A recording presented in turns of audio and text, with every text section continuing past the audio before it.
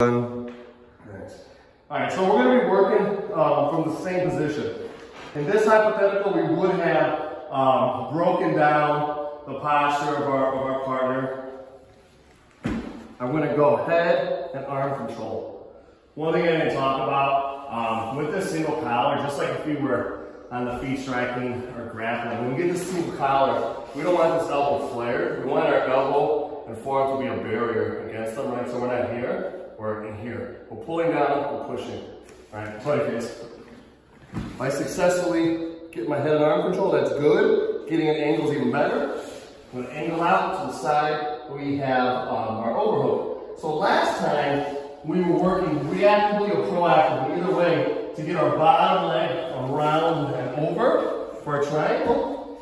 We're gonna be working the exact same position, but this time, it's gonna be our top clamping leg that's going to do some of the tricky work. I'm going to come over the near side of the face. I have this overhook. At this point, when the foot goes over the partner's face, I can switch my grip. Grab it with my other hand. I'm going to post on pivot off of my top side foot to get parallel to my partner. Being really careful to keep not just the arm in between my thighs, but not losing their elbow line. So I'm pinching here. I sit up, butt behind me, and then on the side nearest. At this point, we're already putting pressure on our partner, right? I'm gonna reach my, my chest a little over the back, reach in front, and before I even kick the leg back, was in. One more time. So in this, in these drills, we're not gonna resist.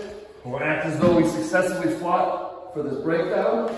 Angle out, be patient, Sitting out. Good. We're working here, making them worry about the bottom leg. We're gonna actually push away, come over here. I'm on my side right now. So it doesn't take much hip flexibility for me to do this.